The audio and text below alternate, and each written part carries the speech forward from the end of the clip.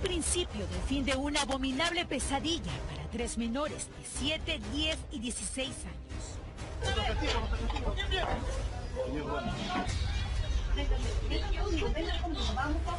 Dos niñas y un adolescente rescatadas del infierno de la explotación sexual a manos de sus propios hermanos de madre dentro de la casa que compartían en Lurín. Dos perversos sujetos de 31 y 20 años que habían convertido esta vivienda en cualquier cosa menos en un hogar.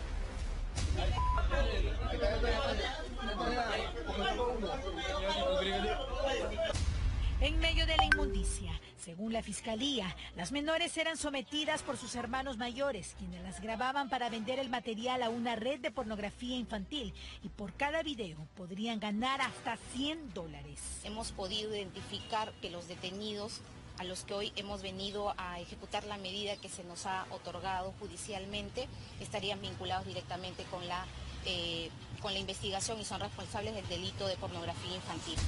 La policía no descarta que los sujetos también hayan abusado sexualmente de sus víctimas.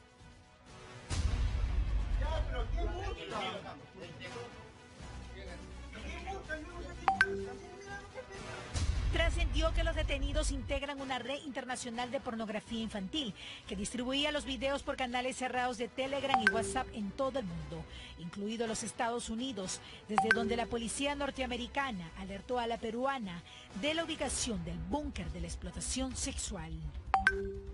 Ahorita hemos rescatado a tres menores de edad de 6, 10 y 16 años. Hemos encontrado los dispositivos electrónicos que van a entrar en una evaluación ¿no? en estos siete días de etapa de investigación. Solamente la mera posición, sin importar la cantidad, ya constituye delito. Un espantoso hecho que dejó conmocionado y en medio del llanto a los vecinos de Lurín. No tiene perdón de Dios. No, no tiene perdón de Dios que los padres, los madres paguen, pero con cadena perpetua, no merecen salir, que no salgan. El padre de las agraviadas exige mano dura para los malditos que acabaron con la inocencia de sus hijas. Solamente hay dos justicias, la justicia celestial que es Dios y la justicia terrenal que es la policía. Las víctimas fueron puestas a disposición del Ministerio de la Mujer mientras los detenidos fueron trasladados a la Tirincri indignación y, realmente una, una, tremenda pena, ¿no? Por un lado, no escuchar a estos malditos decir, ¿para qué vienen? ¿Qué ha pasado? Yo no he hecho nada. Y luego, ¿no? Obviamente, los rostros eh, protegidos, utilizando este efecto que se llama bluro mosaico en televisión, para no mostrar la identidad de los menores de edad, para protegerlos, resguardarlos y no victimizarlos, 16 10 y 7 años, criaturas, por Dios, saliendo temerosos de esta casa que era una cárcel, peor que eso, peor que eso, por Dios, imagínense ustedes, sus propios hermanos, sometiéndolos a este vejamen es simplemente inconcebible. El padre dice, sí, espero que la justicia celestial, la justicia divina. No, esperemos que la justicia peruana, que el Poder Judicial se ponga las pilas porque han hecho un extraordinario trabajo, y hay que reconocerlo, en el Ministerio Público y también la policía dando con el paradero de estos malditos violadores, abusadores, que se pudran en la cárcel. Y lo digo así, sin asco, si existiese en nuestro país la ley más alta que efectivamente es una realidad en varios otros países, estados, que los condenen a muerte, cosa que no va a pasar en el Perú. Cadena perpetua, cadena perpetua. ¿Ustedes creen que estos malditos van a cambiar? De ninguna manera. Ahora mismo están en la Avenida España, donde se encuentra la DIRINC y donde está justamente la división que se hizo cargo de toda la investigación, el trabajo de inteligencia y de la excelente labor que permitió dar con el paradero de estos verdugos. Karina Reina Farge se encuentra ya y nos actualiza sobre esta noticia que realmente nos tiene a todos consternados. Karina, ¿cómo estás? Buenas noches. ¿Qué sabemos de la madre, por ejemplo? El padre ha declarado, la madre de estas criaturas no sabía nada, ha declarado... Muy buenas noches, Juliana. Efectivamente, nosotros nos encontramos en la sede principal de la DIRINCRI y nos acompañan los autores de este operativo, que son justamente los directivos de la Divindad, que es la Dirección de Investigación de Alta Tecnología. Hay que decirlo, lamentablemente a estas horas de la noche este caso se actualiza porque no solamente se trata de dos detenidos, son tres los hermanos que abusaban de sus hermanos menores, los que vivían en esta casa de Lurín. Se ha detenido a un sujeto más que ya se encuentra aquí en la Dirincri. Otra terrible noticia que tenemos que dar es que la menor de 16 años estaría en estado de gestación, Juliana, es lamentable lo que sabemos y también justamente nos comentaba el comandante Cisneros que lamentablemente este hombre, ¿no? Uno de los detenidos también habría sido denunciado por una cuarta hermana en mayo de este año, ¿no? Y vamos a trasladarle la pregunta que tú nos haces al comandante Cisneros, que ha sido muy buenas noches, perdón, comandante Cáceres, muy buenas noches, bienvenido a TV Noticias al estilo Juliana. No, Juliana Oxenford en el estudio, pero nuestros televidentes en todo el país, le hacemos la pregunta, ¿qué ha sido de la madre de estos menores? Muy buenas. Buenas noches. Con relación a la madre, esta eh, indica desconocer los hechos que ocurrían en el interior de ese inmueble, de su inmueble. Eh, además, ella ha indicado de que se dedica al reciclaje y por eso se mantenía ausente del hogar. No, esa es la... Karina. menores estaban en el abandono que ni siquiera iban al colegio, ¿verdad? Sí, efectivamente no iban al colegio.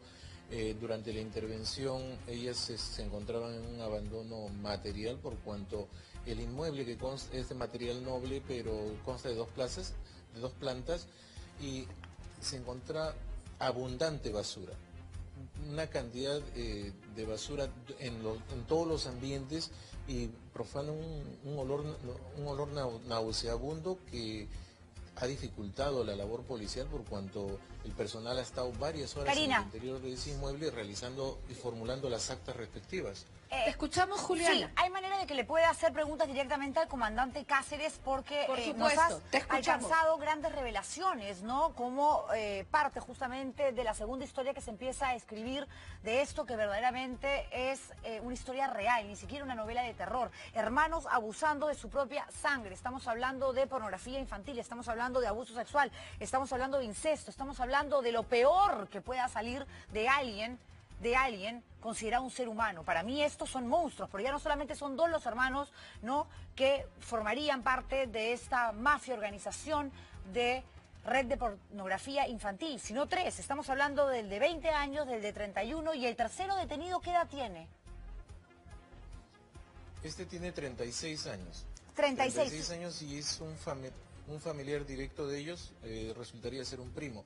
A este tercer eh, sujeto detenido en flagrancia eh, se le encontró durante la visualización de su eh, celular dos videos en cuales se aprecian en las imágenes material con pornografía infantil con niñas, con menores de edad. en este material, comandante Cáceres, al que ustedes evidentemente acceden y da eh, inicio a la labor impecable que han realizado junto a la Fiscalía que ha permitido detener a estos tres abusadores, violadores de menores de edad.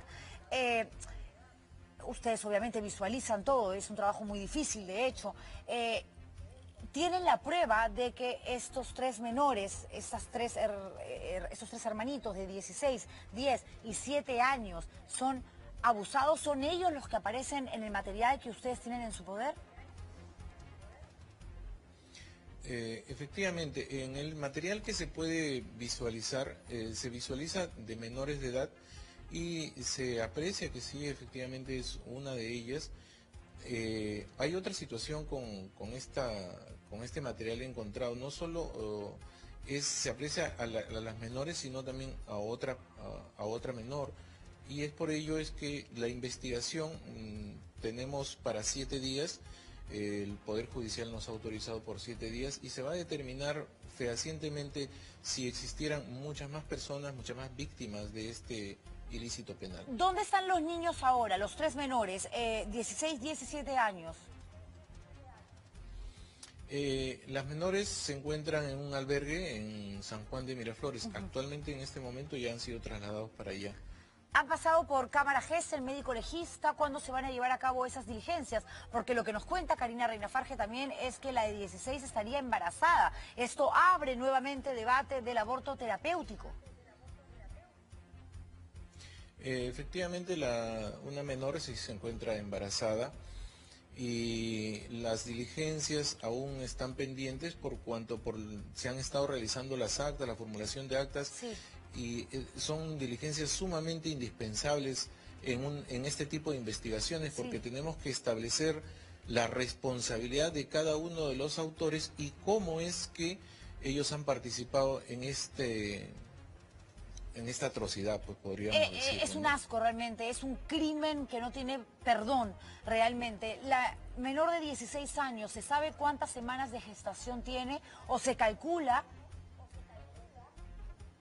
eh, eh, se, presume que la edad no podría decirlas por cuanto ella tiene que pasar a un médico legista y ahí se podrá determinar la edad gestacionaria que ella tendría. Estas diligencias se van a realizar en las próximas horas. Por Dios, porque claro, el aborto terapéutico que eh, se concreta cuando eh, la madre corre riesgo, y estamos hablando de una menor, el riesgo existe a todo nivel, físico, emocional, se practica según la normativa peruana hasta las 22 semanas. ¿Qué pasa si esta niña tiene 5 o 6 meses de embarazo, por Dios, abusada presuntamente por sus propios hermanos? Porque todo esto se ha generado dentro de esta casa en Lurina en la que ustedes han llegado el día de hoy. Eh, yo puedo entender eh, de pronto la ignorancia de la madre, el desconocimiento de ciertos hechos porque salía a trabajar, nos cuenta Karina también como recicladora, lo hemos visto y escuchado en el reportaje, pero no puede ser que nadie le haya dicho nada y que ella saliera de casa y que aquí se armaran orgías con pequeños, con niños, grabando. Ahí hay cámaras, ahí tienen que tener evidentemente equipos para poder tener este material que luego comercializaban como parte de una red de pornografía infantil. ¿La madre no se daba cuenta de nada? Bueno, eh, definitivamente lo que ella indica es una cosa, pero nosotros presumimos que es otra. ¿Por qué? Eh, acá quisiera que eh, aclarar, en el mes de mayo de este año 2023, ¿Sí? una de las hermanas pone en conocimiento de sus familiares, tíos, de que ella había sido víctima de violación sexual por uno de estos sujetos detenidos hoy en día. ¿Por cuál? Perdón, ¿el de 20 eh, o el de 31? Eh, está todavía en, investigación, todavía no puedo determinarlo. Lo entiendo, pero esa hermana que denuncia, a raíz de eso, sí. a raíz de eso, esta menor ah, es trasladada a un albergue a un albergue eh, también en San Juan de Miraflores. Entonces, eh, esta investigación ya está desde mayo, entonces eh, la familia definitivamente tiene que haber tomado conocimiento de los hechos. Perdón, comandante Cáceres, lo que pasa es que toda esta información que usted nos está alcanzando es realmente más que trascendental. Uno, porque estamos hablando de menores. Dos, porque estamos hablando de una red de pornografía infantil. Tres, porque estamos hablando de una situación de altísima vulnerabilidad para menores en una casa donde se han venido registrando abusos. Usted ahora nos habla de una denuncia hecha por una de las hermanas en mayo. Es imposible que tres meses después la madre recicladora, por más humilde que sea, repito, se haga la sorprendida y el padre diga que caiga todo el peso de la ley y que sea la justicia divina la que se... No, no, porque evidentemente hay ya consignado un documento y a la menor la trasladan a un albergue para ponerla a buen recaudo. Entonces la pregunta es, la que denuncia, la que denunció en mayo, ¿qué edad tiene? Esta tendría 12 eh, años. 12 años. ¿Y sigue en el albergue? Una niña. Actualmente sí. increíble, increíble. Estos malditos, estas basuras han violado a todas sus hermanas. Por Dios, yo le agradezco, le agradezco, comandante, muchísimo por haber participado en vivo y en directo. Sabemos que ustedes están en medio de las diligencias y se han dado un tiempo para poder estar con nosotros aquí esta noche con Karina Reina Farge. Gracias, gracias. Así como se critica a los malos policías, aquellos que no hacen su labor, es momento de felicitar y reconocer lo que ustedes desde su división han realizado porque les han salvado la vida a estos, a estos niños. De pronto su propia institución ni siquiera los reconoce, pero quiero que sepan que estoy completamente segura que los televidentes y yo que estoy aquí dando la cara, que puedo ser ahora mismo la voz de los ciudadanos que estamos conociendo esta historia terrible, espantosa, nos sentimos orgullosos de lo que ustedes han hecho y de lo que también ha hecho la Fiscalía que ve casos de trata de personas. Muchísimas gracias, gracias por eso. Y que caiga todo el peso de la ley. Por mí, fuera, los maten a estos malditos desgraciados.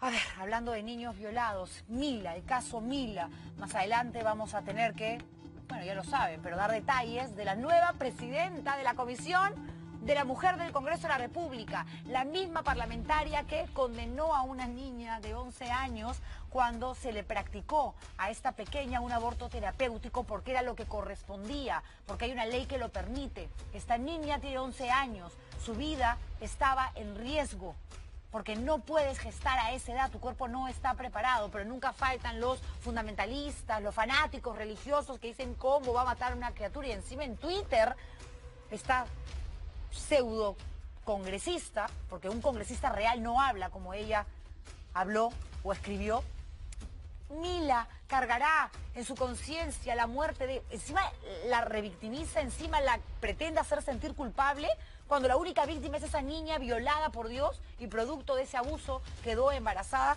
Por suerte, el Poder Judicial, por suerte, reculó y ha ordenado nueve meses de prisión preventiva contra el padrastro que ha sido acusado de violación ella misma, la niña, cuando pasa por la cámara Gessel ya embarazada, dice, sí, me viola mi padrastro. Y luego la fiscal que ve el caso, que nos concedió en exclusiva una entrevista aquí en este programa, nos dijo que había un segundo abusador, un segundo verdugo, que pareciera ser alguien muy cercano justamente al novio, a la pareja de la madre de esta criatura. El Tribunal de Apelaciones de la Corte de Loreto, presidido por el magistrado Carlos del Piélago, decidió revocar la orden de comparecencia con restricciones decretada en primera instancia contra Peso Amaringo, así se apellida, Peso Amaringo, el padrastro violador. Y presuntamente, y presuntamente el que habría embarazado a esta niñita de tan solo 11 años. Realmente es espantoso, es triste, es...